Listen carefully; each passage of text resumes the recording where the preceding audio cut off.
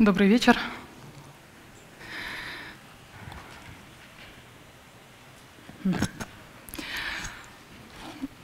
Здесь такой интересный, уникальный случай. А, я в данный момент, вот прямо сейчас, являюсь а, живым наглядным пособием по теме своего пересказа, потому что эм, страх публичных выступлений — это одна из самых распространенных фобий вообще.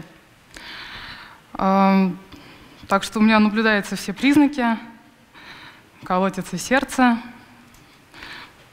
мокнут ладошки, и голос подрагивает. Но я постараюсь применить подчеркнутое из книги «Ментальное кунг-фу», вот, и все-таки преодолеть страх и рассказать, что смогу о страхе вам.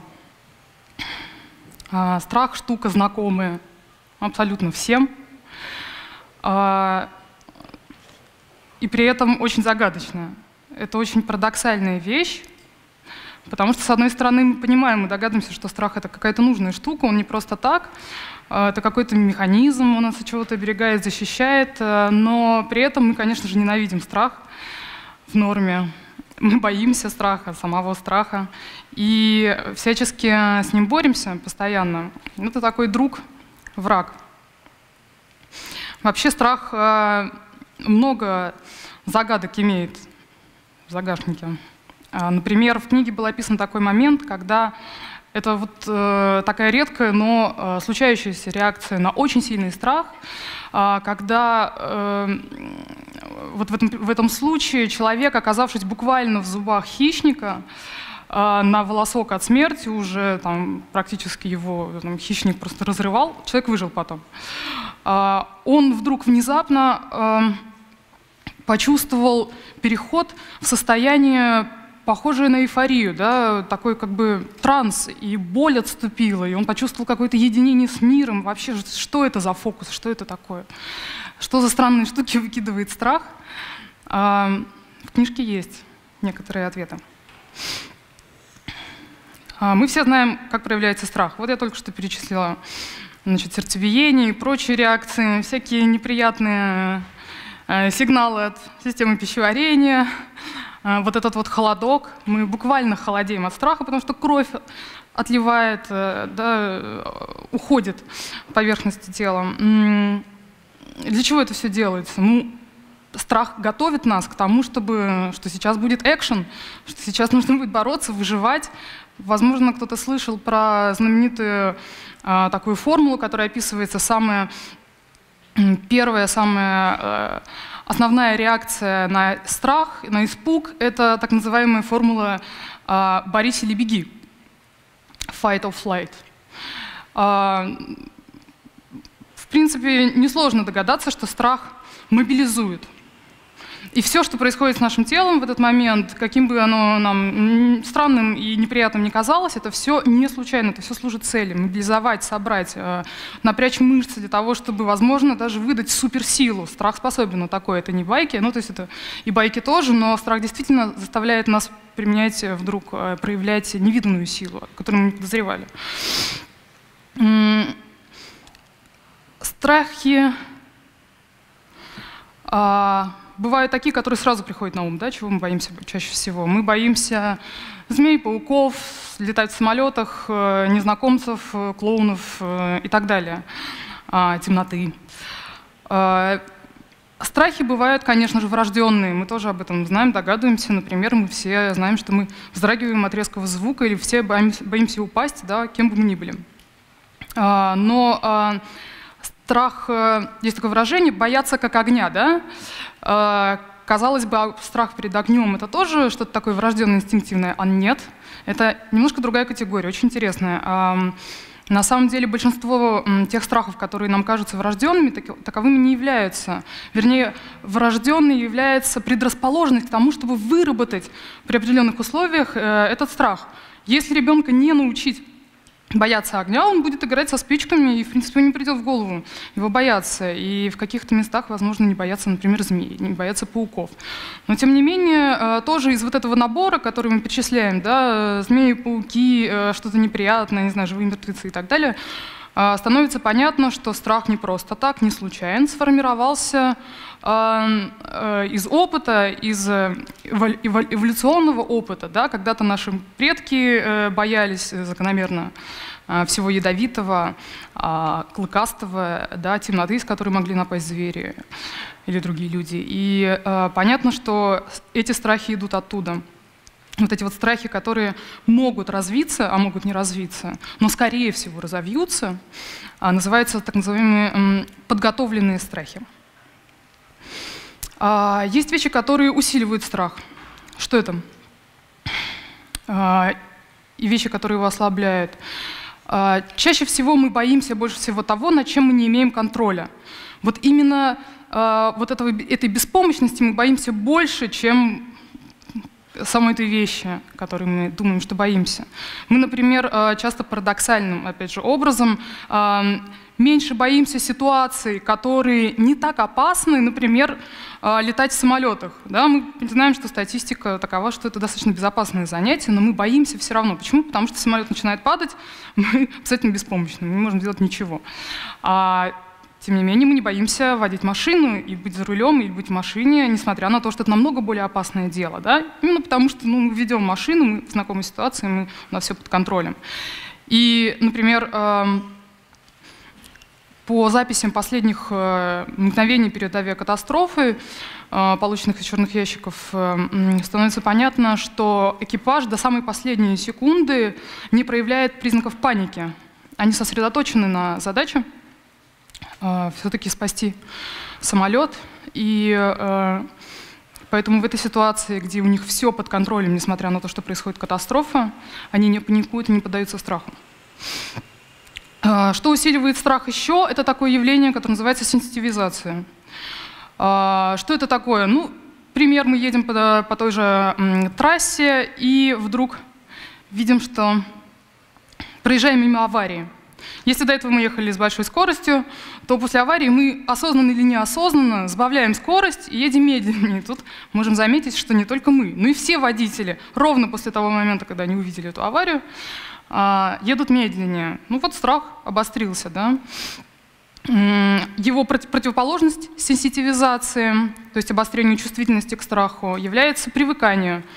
А, когда, пример, когда должны были э, начаться бомбардировки э, Великобритании Вторую мировую э, предрекали, что будет массовая паника и что люди не смогут выдержать э, ужасов э, бомбежки. Но, к удивлению тех, кто это предрекал, оказалось, что люди через некоторое время смогли продолжать ходить на работу, заниматься какими-то делами, даже шутить по поводу бомбежек и э, бомбоубежищ. При этом те, кто жили в Лондоне, намного меньше боялись бомбежек по исследованиям каким-то исследованием, которое кто-то провел, видимо, потом, чем жители э, пригородов или э, провинции, э, деревенских, сельских жителей, которых бомбили редко. Вот такие вот у страха свойства. А, как он устроен и как он работает? Страх состоит из трех частей, из трех систем, которые работают одновременно. Если кто видел анонс, э, видеоанонс э, пересказа, то они работают одновременно, но на разных скоростях. Это интересно. Значит, самая первая система — это самая древняя, самая примитивная, доставшаяся нам в наследство еще от рептилий. А, система лимбическая, ну, потому что она располагается в так называемой лимбической э, системе мозга. Она не поддается нашему осознанию, она работает постоянно. Это такая сигнализация, причем такая гиперчувствительная сигнализация, которая работает очень грубо и фильтрует всю поступающую к ней информацию, а она тесно взаимодействует с корой, да, и как только информация только-только поступила еще от э, органов чувств и немножечко собралась э, корой в какую-то картинку, пусть грубую, она тут же немедленно посылается в лимбическую систему, к этой сигнализации, э, несмотря что она еще сырая, потому что для лимбической системы крайне важно засечь потенциальную опасность на как можно более раннем этапе. Да? Она постоянно фильтрует и очень грубо. Э, ахтунг, не ахтунг, ахтунг, не ахтунг. И она обращается еще к памяти, а, ну, потому что ей нужно же с чем-то сверять, да, что опасно, а что не опасно. И вот если вдруг что-то показалось, а, там на что-то наступили, какой-то вытянутый, извивающийся предмет, тут же, а, еще не разобравшись, намного, за много долей секунд, это много для систем страха, за много долей секунд до того, как вы это осознаете, а, лимбическая система примитивная завопит, ахтунг, а, полундра, и тут же включит э, специальный режим, который будет включать э, скачок сердцебиение, давление, вот эти вот все вещи, да, а, всю эту подготовку к тому, чтобы срочно действовать, и даже а, заставит вас отскочить, например, или отдернуть руку от огня и так далее, до того, как вы успеете сообразить, что произошло. А, потом дальше в лимбическую систему будет посылаться уточненная картинка. Это дело тысячных долей секунды, что картинка идет непрерывно, и, возможно, лимбическая система уточнит, что-то, что как бы, а нет, это не была, значит, полундра, и, может быть, даже вообще отменит э, весь этот э, сигнал тревоги. И был забавный эксперимент, описан в книге, так, не выбиваюсь ли я из графика. Э, забавный эксперимент, когда в режиме что-то вроде 25-го кадра пока демонстрировали страшные картинки, значит, испытуемым, настолько быстро, что они не успевали понять это, а лимбическая система успевала засечь. И они сидели, им казалось, что ничего не происходит, да, что перед ними мелькает, ну, не знаю, белый экран просто. А в это время э, приборы фиксировали скачки, скачки, скачки. Эта лимбическая система реагировала, что ахтунг, а потом э, тут же через тысячную долю секунды отменяла это дело. Вот такая интересная штука. Следующий, э, более молодой, более современный значит, э, этап вот этого фильтра и более молодая система — это рациональная система, так называемая. Это уже когда вы осознали. Вы еще не очень сильно успели э, обдумать это, но вы уже поняли, что это там, змея да, или пестрая лента. Или вы уже поняли, что, что, что вы отдернули руку от огня, и в вашем мозгу даже светилось значит, огонь, там, змея, опасность и так далее. Она располагается вот здесь вот.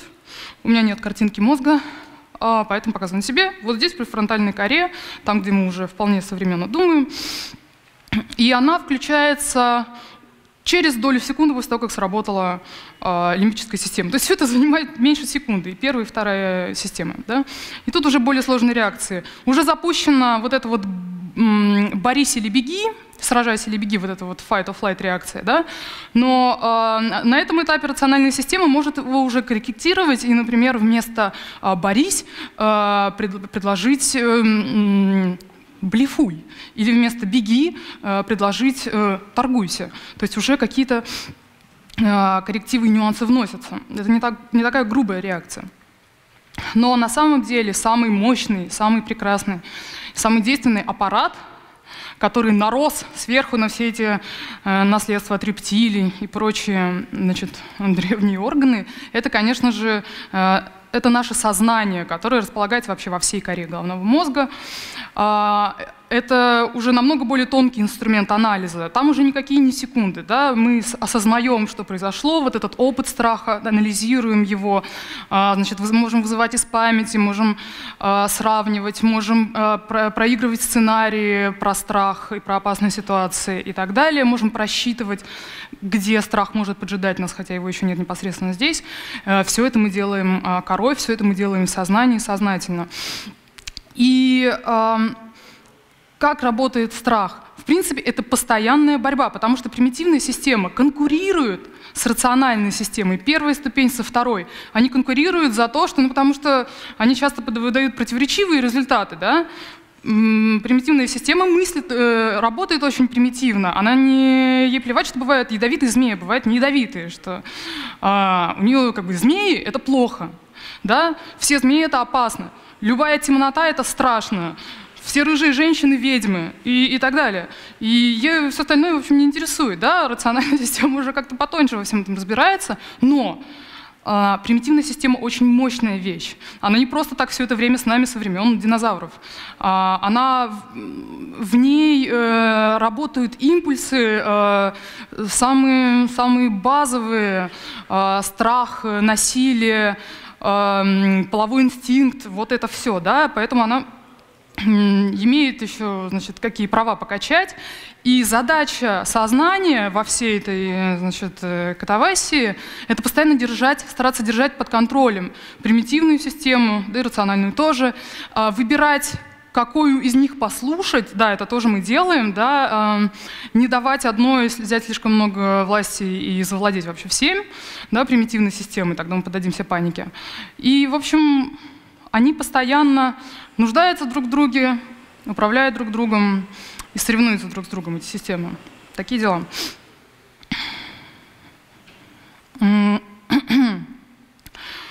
Дальше про страх и память. А, что происходит, собственно, когда мы вот в страхе? Как это работает? Есть всякие интересные примочки. Например, есть такая штука норадреналин, кузен адреналина. Это нейротрансмиттер. То есть он осуществляет передачу импульсов между синапсами, если нервными э, клетками, если грубо говорить.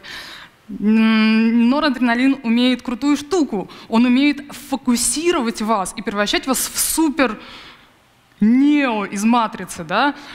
Когда вы в страхе, когда реально очень э, страшная ситуация, экстремальная, может быть, кто-то замечал, может быть, кто-то еще с таким не сталкивался, но, как правило, в этот момент у вас очень сильно обостряется восприятие. Вы замечаете самые маленькие детали, время как будто замедляется, ну, вы просто не уворачивающийся, уворачивающийся от пуль. И э, мало того, те воспоминания, которые останутся об этом, та память, которую вы сформируете об этом событии, эти воспоминания они будут очень качественными, очень свежими, очень яркими и будут храниться очень долго. Норадреналин делает такую штуку. А, у него есть рецептор. Ну, это то, что принимает на окончаниях нервных синапсов вот эти вот все нейротрансмиттеры, да, принимает сигнал. И есть такая штука, что если в миндалевидном теле, а это часть лимбической системы, очень важный орган, мы про него еще потом поговорим, да, это та самая сердце вот этой сигнализации, которая чуть что орет, да, а если в миндалевидном теле, а это научились делать, отключить э, вот эти вот рецепторы, так что нейротрансмиттер, норадреналин или какой-либо другой не сможет выполнить свою работу, то воспоминания об этом страшном моменте не сформируются, они просто да, просто не получится. И от страха это не спасает, но это очень круто, потому что фактически эта таблетка не от страха, да, но от таких очень нехороших вещей, как посттравматический синдром, например. Да. А если отключить эти нейрорецепторы, то вы не будете страдать потом от последствий этого страха. И еще хотела сказать, если есть время, что а, вот это вот миндалевидное тело, которое часть лимбической системы и которое сигнализация, оно в мозгу расположено очень рядом с э, обонятельной луковицей. А обоняние и вкус — это одно и то же, и они очень тесно общаются, эти два органа. Поэтому э, у страха есть вкус, у страха есть запах. Мы очень четко э, запоминаем вкусы и запахи, связанные со стрессовыми, э, страшными ситуациями. Очень связаны страх и агрессия. Вот тут мы опять возвращаемся к миндалевидному телу. Почему? Выяснилось, что если э, стимулировать электродами миндалевидное тело в крысах, то, пардон, это даже не в крысах, это на людях проверяли, извиняюсь, э, возникает, ну это не опасно, по крайней мере, если под руку не попадаться, испытуемым, потому что вызывается таким образом очень сильные, очень яркие, испытуемые даже говорят, что ярче, чем реальная жизнь, галлюцинация. И обязательно всегда страх, и обязательно всегда агрессия. Они неразрывно связаны в этом миндалевидном теле. Страх — это э, штука, которая очень легко перетекает в агрессию и обратно. А, почему? Да, собственно, потому что вот эта вот реакция «борись» или эм, «беги», вот эти вот две базовые стратегии, да, как спастись, а, они на самом деле являются скорее борьбой, агрессией или бегством, паникой. Да? То есть эм, борьба, а, когда нужно срочно защищаться от надвигающейся опасности, да, это подразумевает агрессию. Поэтому совершенно неудивительно, что страх а, в нас может туда-сюда значит, превращаться в агрессию, из агрессии страх обратно. Это может быть, не так очевидно сразу, но вообще это очень родственная вещь. Э, и у них есть интересная лакмусовая бумажка, есть безошибочные маркеры того, во что сейчас превратился ваш страх. Пошел ли он в сторону значит, паники и там, замереть, или он пошел в сторону бороться, нападать, защищаться и значит, агрессии. А, случай, случай помог открыть это. У одного товарища была такая язва желудка, что образовалось отверстие. И врачи в какой-то момент заметили, они могли видеть стенку желудка сквозь это отверстие. И кто-то из них заметил, что если этот человек испытывает страх, у него мгновенно и очень четко а, бледнеет стенка желудка, становится просто белой. А если он испытывает гнев, сердится, что-то в этом роде, да, то у него очень сильно краснеют стенки желудка. Это соответствует на самом деле тому, как мы краснеем или бледнеем. Если мы в ярости, мы краснеем, если нам страшно, мы бледнеем. Это разные э, две реакции, которые помогают нам при той и при другой стратегии да, эффективнее выжить. Но э, просто на стенке желудка оказалось, что это видно лучше.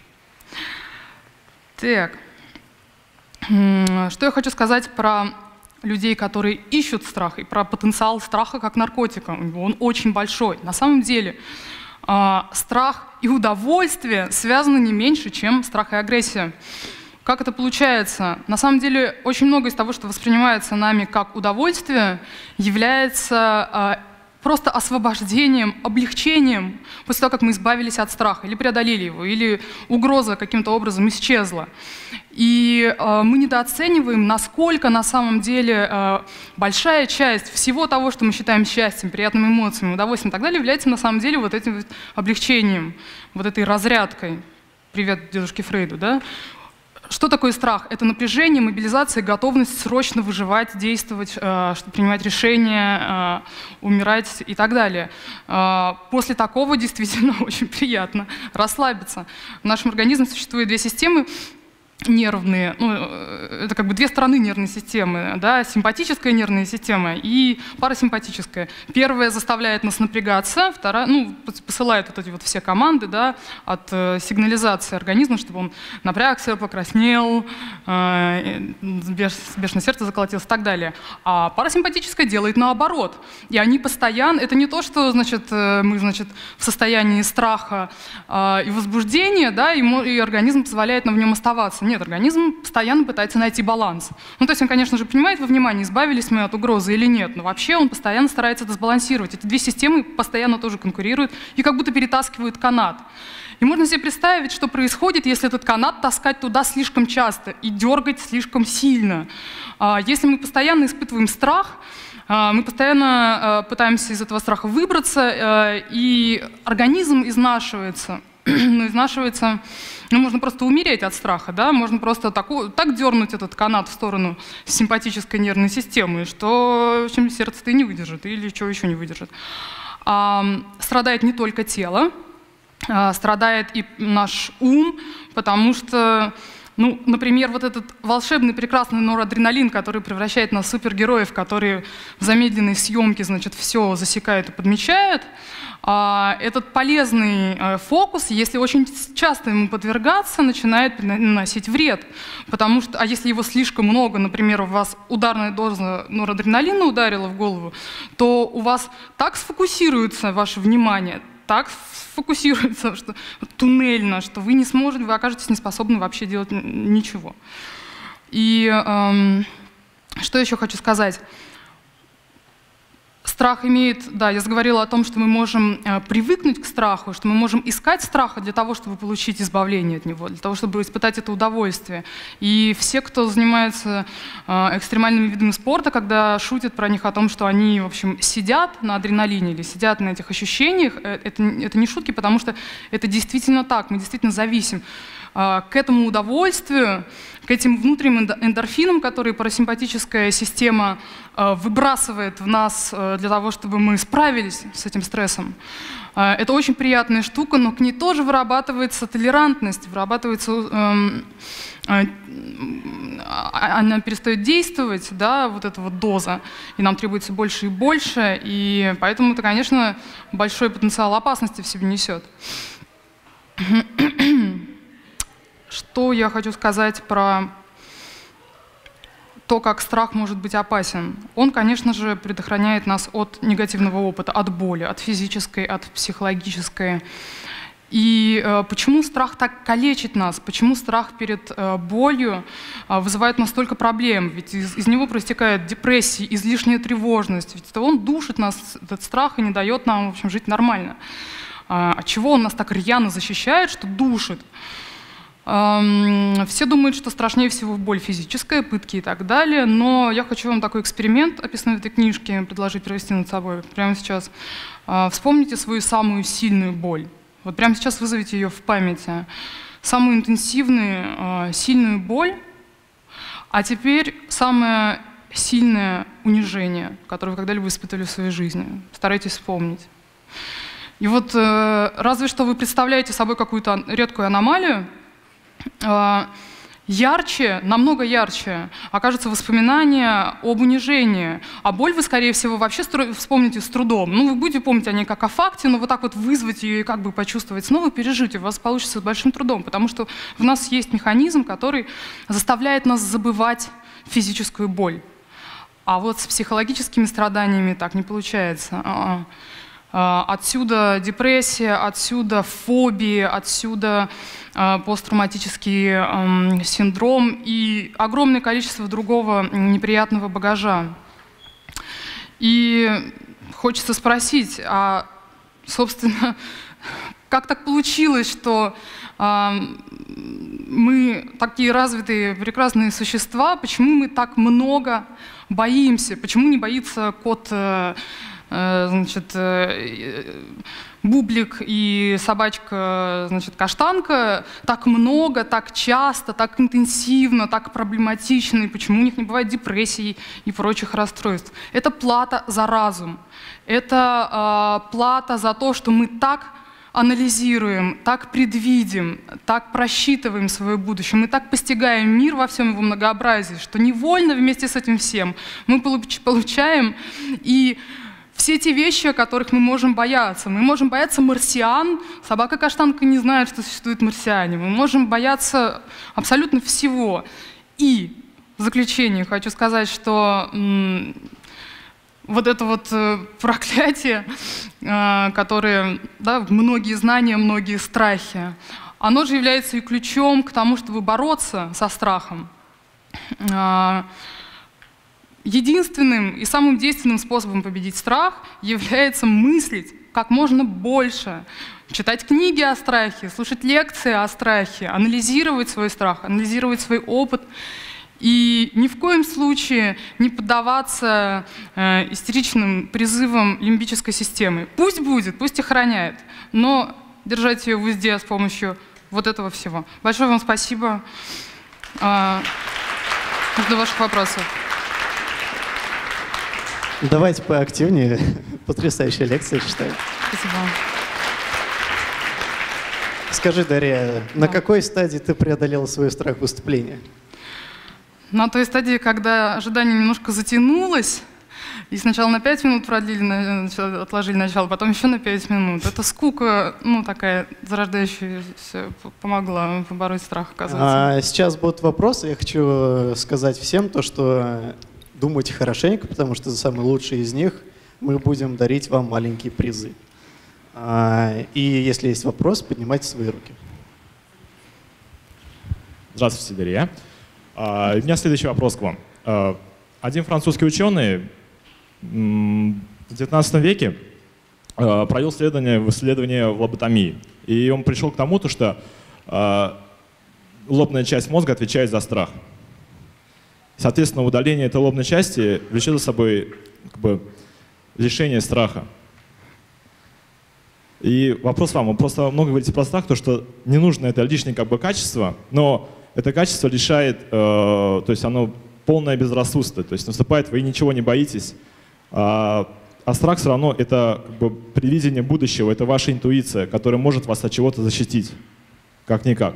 И вопрос мой лечит следующим образом – вы бы предпочли быть со страхом или без страшной? Спасибо.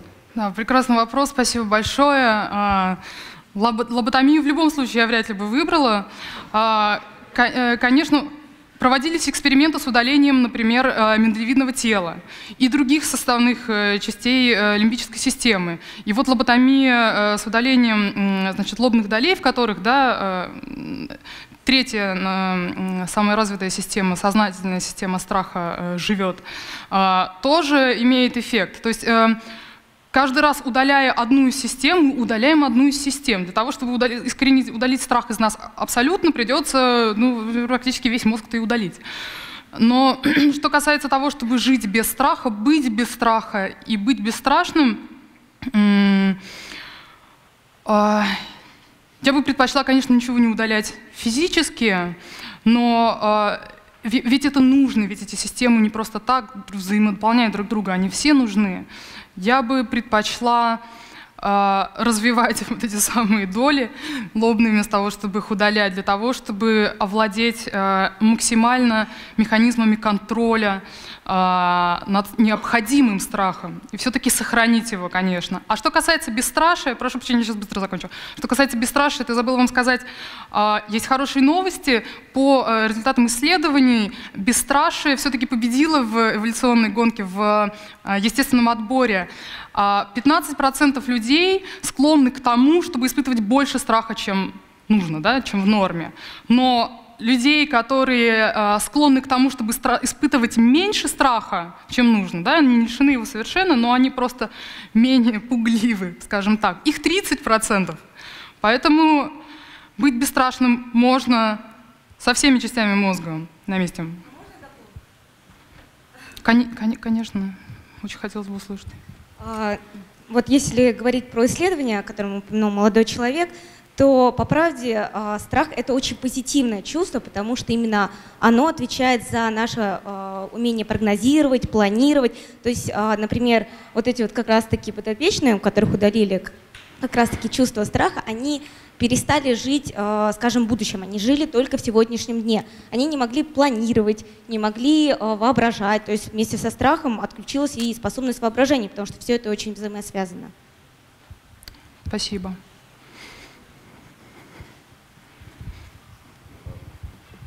Здравствуйте. А, скажите, пожалуйста, у меня к вам такой вопрос. Поближе немного. Что, на ваш взгляд, отличает разумный, например, страх смерти от инстинкта самосохранения? Инстинкт самосохранения и разумный страх смерти? А, именно разумное проявление вот этого вот инстинкта, то, что вот я не, не шагну вниз, угу. того, что там высоко. И вот именно вот э, такое примитивное сознание. Что, на ваш взгляд, отличает и что а, все разумное не называлось бы разумным, если бы в нем не участвовал разум. То есть вот этот вот страх э, шагнуть со скалы, который у младенца да, существует, страх упасть, естественный и инстинктивно очень глубокий, э, это одна вещь а похожий на него по результату, но э, разумный, осознанный выбор не шагать э, со скалы, э, и, и, и страх э, шагнуть с скалы, и предвидение того, что с тобой случится, если ты шагнешь с этой скалы и так далее, и вот нежелание делать этого, потому что ты проанализировал это разумом, это хоть и выглядит так же, и там, и там ты не шагаешь со скалы, да, но является разными вещами. Разумное отличает от врожденного, инстинктивного и неосознанного именно то, что оно разумный компонент э, мыслительный в нем. Будьте добры. А, да, пожалуйста. А, вы... А, просто не очень понял про момент, у вас там были какие-то аббревиатуры из четырех букв, N что-то, что-то, что чудесно стирает память. О да, о да, это была аббревиатура, которая называется тот самый нейротран... Эм, э, не нейротрансмиттер, а нейрорецептор, э, который, если его блокировать, да, перестает принимать нейротрансмиттеры с их сигналом, и э, таким образом прерывается этот механизм, э, который откладывает в нашей памяти воспоминания. Сейчас я вернусь. А или кто и вернусь. как его блокирует? Что, что, прошу? Кто и как его в нормальных условиях может блокировать? О, в нормальных условиях. Это был лабораторный эксперимент. Э, поэтому я и сказала, что это похоже на таблетку от э, страха, ну, вернее, от последствий, да, от воспоминаний. О страхе.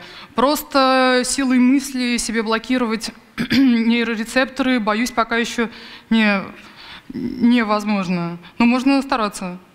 То есть мы говорим о том, что можно что-то химически сделать, в результате чего человек, пережив встречу с динозавром, забудет про нее и на следующее утро встанет как ни в чем. Он не забудет о встрече, но его э, не будет, э, он забудет ощущение страха. Он точно так же не сможет его вызвать в памяти, как нам сложно вызвать в памяти вот само непосредственное ощущение боли из прошлого. Понятно, спасибо. спасибо Давайте вам. теперь последний вопрос.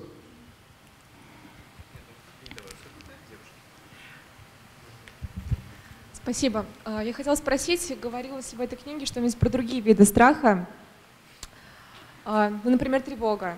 Вот просто согласно Тилиху, страх, а, по крайней мере, мы можем как-либо с ним справиться, потому что страх всегда объектен. Есть какой-то объект, можно от него избавиться, там, убить динозавра или не, не пользоваться самолетом, вот, тем самым мы избавимся от страха. А что делать с тревогой, вот этой той самой иррациональной тревожностью, которую мы испытываем, там, глядя в черное небо или задумываясь вот, о смысле жизни. Спасибо. Шикарный вопрос, спасибо большое, Илья. Конечно, в книге говорилось про тревогу, я очень много не успела вместить в свой пересказ. А, в том-то и дело, что это некоторая иллюзия, да, мы, вернее, подменяем много понятий и путаем а, ситуацию, когда мы избавились от источника угрозы, и ситуацию, когда мы избавились или совладали со страхом как таковым, как с механизмом. Мы можем э, поубивать всех динозавров в этом мире, да, но мы э, не избавимся от тревоги э, ни по поводу динозавров, ни который вдруг где-то еще на Марсе остался один, да, ни по поводу всех остальных многочисленных, многообразных страхов, которые существуют. Есть способы бороться с тревогой, есть способы преодолевать ее, есть способы работать с ней, а, основанные на том, что мы понимаем, как она, а, ее истоки. Про истоки тревоги не успела рассказать, но очень важно действительно не путать это, да, и понимать, что если ты, в общем, а, боишься всех рыжих женщин, то не надо уходить и убивать рыжих женщин, потому что проблема не в них, да, и не так мы избавляемся от, от проблемы страха. Спасибо, Дарья. Спасибо. Сейчас можно я аббревиатуру верну? Вот она, NMDA. О, рецептор.